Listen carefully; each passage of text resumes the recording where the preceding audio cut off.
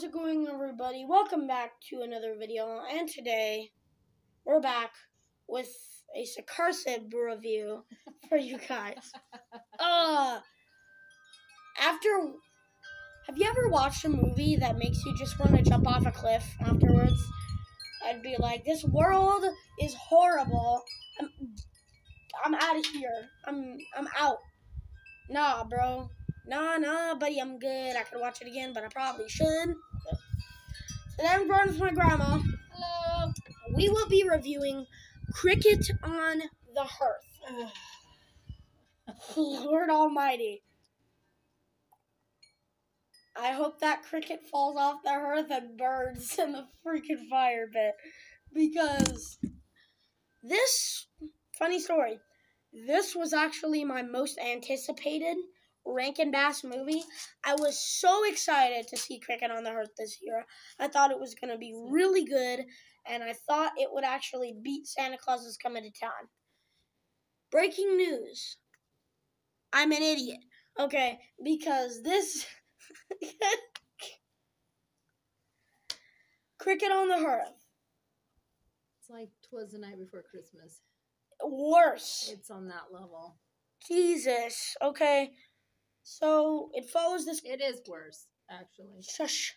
it follows this guy. He invites a cricket to come and live in his house and do daily things with him, which I found kind of cute. And you know, it's like nothing can go wrong. Now rethinking it, that's stupid. Everything in this movie was stupid. I thought that was just meant to be like you know cute and stuff, and the cricket would, you know, that's just cute. No, no, no. This movie is garbage. So, in the house, it has, well, the dude's daughter, Bertha. Big Bertha. Her name is actually Bertha. Um, and her boyfriend, who has to go on this long ship ride. So he leaves, and there's a report that he gets lost at sea. Just, you're gonna hear this right. You're not hallucinating, just so you know. The news blinds Bertha. Yes, literally blinds Bertha. She cannot see anymore. Huh? She wasn't blind all along. That blinds her. Rankin Bass. Okay. There are times that I think Rankin Bass is an adorable kids making company. And then there are times that I think they're total psychopaths and just really they have like a Patrick Star level IQ. Because that's what this movie was. That's what this movie was. What in the world? It blinds Bertha. Big fat, crusty, musty, rusty Bertha. She's not. Okay, and he pretends to be a the the dude the hmm, I can't even speak guys. okay, so her love interest actually comes back and is too afraid to confront her and say I'm back because he somehow knows that she's blind, and so he pretends to be a hitchhiker. The dad coincidentally finds the hitchhiker slash the love interest and invites him to live with them. The cricket, I have a feeling that the cricket is in love with Bertha because he was really pissed off at that dude for pretending that he was a homeless guy. And honestly, that is kind of screwed up. But, you know. And why is the cricket British? Why? Why is the cricket had to be British? Everyone else is American. Oh, okay. But uh, literally, this isn't this. It isn't London though. It's set in America. I'm pretty sure, and everyone else is American. How is the cricket British? I wanted the cricket to have a cute voice, but he was British. Huh? I'm going to give Cricket on the Hearth a cricket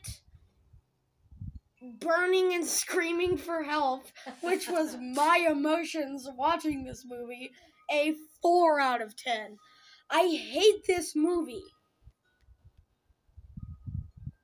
And if there's a cricket on my hearth, I'm gonna take my hand and go Okay. die. Okay. And that's just in response to this movie. I'm not having no British freaking cricket sit on my hearth and eat some some crumpets with some tea, mate. I'm not doing that. Anyway, cricket on the hearth gets a four. My life goes on. Grandma, what are your thoughts? I'll give it a I'll give it a four also. Um I don't know why it's a Christmas it's supposed to be a Christmas movie. There was nothing Christmassy Um, about it. There really wasn't much Christmassy about it except that the old the old innkeeper or the old toy store owner wanted to marry her on Christmas Eve, remember? That was the only Christmas Eve that was the only Christmassy thing. But anyway, um it was a good attempt.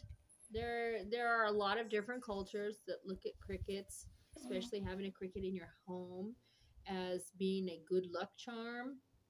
So that brings out a little bit of um, a little bit of cultural awareness, and then um, it also kind of shows where they get this cricket to come live with them, and then they just start doing stupid things. All of them just start doing stupid things, and their life kind of turns into garbage. And um, God. anyway, they end up homeless and everything. It's a, just a big mess. It's a real Debbie Downer. It's not fun to watch. The music is not really. I mean, it's not like you even walk around the next day humming it. You know, it's you know, it's not like you're humming Rudolph the Red-Nosed Reindeer the next day. You know, um, I don't know. It it wasn't it wasn't hugely impressive.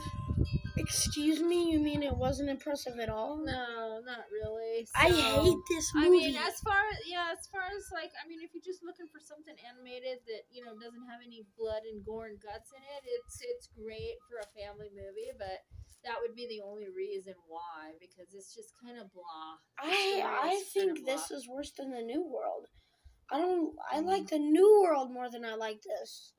right. But if you were like five, you would Okay. probably like to watch Anyway. just because it's animated. Yeah. But anyway, Is that all? that's it. Well, that's gonna be it for my review on Cricket in the Hearth. Hope you guys have a horrible day, cause I had a horrible evening watching this movie. I'm joking. Aw. Anyway, hope you guys have a good day. I'll see you in the next one. Bye bye.